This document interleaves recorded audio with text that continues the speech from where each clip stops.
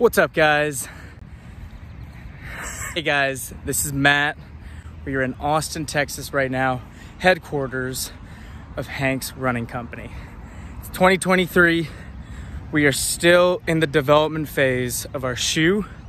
We're getting so close, people. We're getting so close.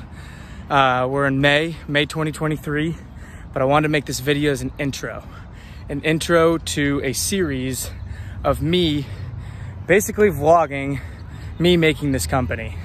Uh, I probably should have done this six years ago when I started this my sophomore year in college, but no big deal. We're gonna start now. And next week, you guys are already gonna see I'm sleeping in cars in LA, trying to save some money, going to the factory.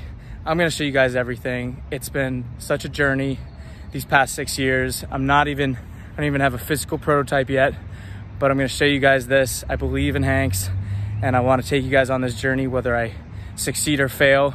And I thought no better place to do this than in Austin, Texas. So hope you guys enjoy this.